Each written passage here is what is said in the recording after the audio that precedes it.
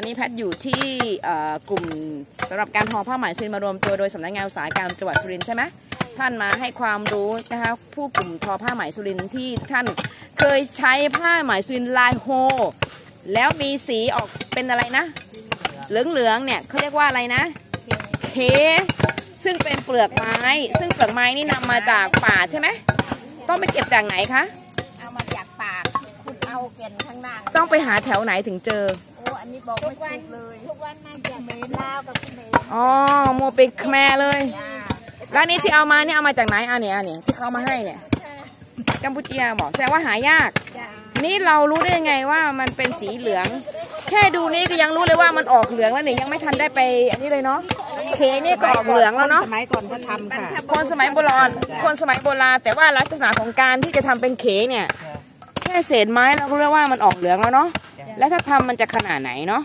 อืมต้มแล้วจะออกสีสวยเอาไปต้มนานไหมกว่าจะได้สองชั่วโมงค่ะสองชั่วโมงแม่กว่าจะเป็นผ้าไหมไอ้นือเตอร์นี่เอาซื้อเอาดีกว่าต้มเอาน้ำนะคะอ่าอย่าเยอะนะคะอย่าเยอะ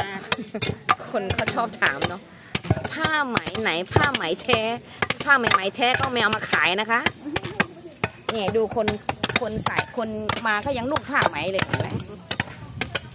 อ่าดูนะคะอะมาดู อ่าเดี๋ยวพรุ่งนี้เราจะให้ชมการย้อมนะคะ ย้อมสีธรรมชาตินะคะ นี่เนาะย้อมอจังหวัดสุรินทร์นี่มีกว่า 17 อำเภอ หลายหลายพันตำบลก็ทอผ้าไหมเกือบทุกตำบลใช่ไหมเกือบไหมใกล้เคียง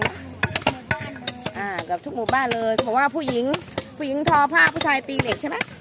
ผู้ชายก็พอได้ เหมือนกันอ่าผู้ชายก็ทอได้แล้วทุกวันนี้นะ โอเค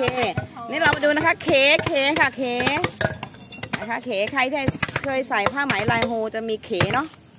เขผสมเนาะเคคลั่งแล้วก็ประหุดเนาะก็พูดมันสีเหลืองสีเหลืองอ่อนมันจะรวมกันเป็นสามอย่างใช่ไหมสำหรับก็พูดจะใช้ย้อมสีเคมีอะใช่ไหมย้อมสีเคมีเอ้ยไม่ใช่พูดผิด ย้อมสีธรรมชาติของโฮจะเป็นเอ่อเขคลั่งใช่ไหมแล้วก็ประหุดใช่ไหมเมนนะใหญ่ข้อหรือเปล่าวะเนี่ย ถูกไหมคะแล้วค่ะอ่าเนี่ยค่ะอ่าเดี๋ยวเราไปชมนะคะสำหรับในเซกชันต่อไปค่ะ อันนี้คือให้ชมว่านี่คือเขนะเขกว่าจะเป็นไหมสุรินทร์เหลา